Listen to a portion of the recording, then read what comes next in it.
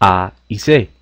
En este caso, estos dos tipos de documentos, es decir, la editorial y la reseña, solo permiten el desarrollo de un argumento, por lo cual se generará confusión en el lector.